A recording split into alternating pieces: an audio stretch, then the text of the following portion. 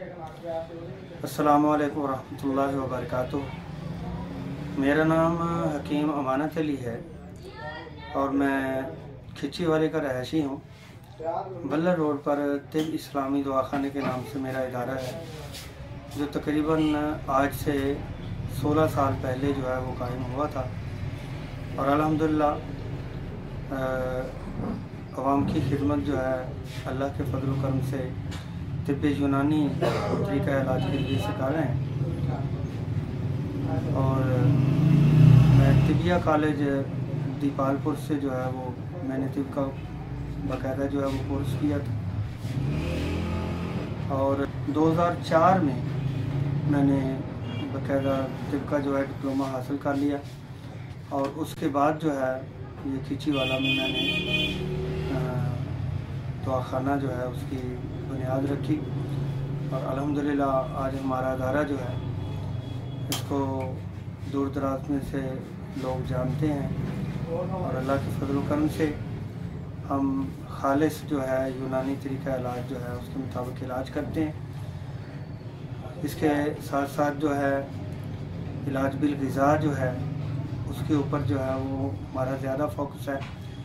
کیونکہ صرف دوائیوں سے ہی جو ہے وہ مریض کا علاج کرنا جو ہے وہ درست نہیں ہے، بلکہ ساتھ ساتھ اس کو جو اس کے غذائی قلت ہے، جن جن جسم میں غذاؤں کی کمی ہے یا جس وجہ سے کوئی بیماری جو ہے اس کا کوئی معاملہ بنا ہے، تو اس کے لیے جو معاون غذائیں ہیں، ہم اس کی بھی جو تجویز کرتے ہیں، مشورہ دیتے ہیں کہ آپ یہ غذائیں وغیرہ کھائیں۔ دوسری بات یہ ہے کہ انسانی جسم جو ہے اس کی مثال یوں سمجھ لیں کہ جیسے آپ سمجھتے ہیں کہ فطرتی طور پہ جو بھی اللہ تعالیٰ نے جاندار بنائے ہیں، اگر وہ اپنی غذا کا خیال رکھتے ہیں اور انہیں جو ہے وہ ماحول میں ایک سکون ہے، تو ظاہر بات ہے کہ وہ بہت ساری جو ہے وہ بیماریوں سے جو ہے وہ محفوظ رہتے ہیں۔ اور اگر ان کے ماحول میں کوئی پریشانی پائی جاتی ہے، کوئی غذائی قلت ہے، کوئی آب و ہوا جو ہے وہ ٹھیک نہیں ہے، یا اور دیگر مسائل ہیں ان کے ماحول میں، تو ظاہر ہے کہ وہ جاندار جو ہیں وہ بیمار پڑنا شروع ہو جاتے ہیں۔ تو ویسے ہی انسان کی جو ہے مثال ہے، اگر انسان کو صحیح غذا ملتی ہے، اس کو سکون حاصل ہے اور وہ جو اس کا ماحول ہے، اس کی جو غذا ہے، وہ ٹھیک ہے۔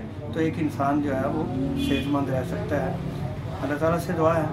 اللہ تبارک و تعالی ہر انسان کو ذہنی، جسمانی سکون عطا فرمائے۔ آخر دعوانا الحمدللہ